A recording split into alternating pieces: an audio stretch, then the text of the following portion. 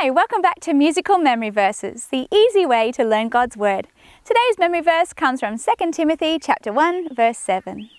For God hath not given us the spirit of fear, but of power and of love and of a sound mind. 2 Timothy 1 verse 7. A special thanks goes out today to the Mendez kids for their request for today's memory verse. If you'd like us to sing a verse just for you, please let us know in the comments below. Subscribe to our channel and we'll see you next week with another one. God bless.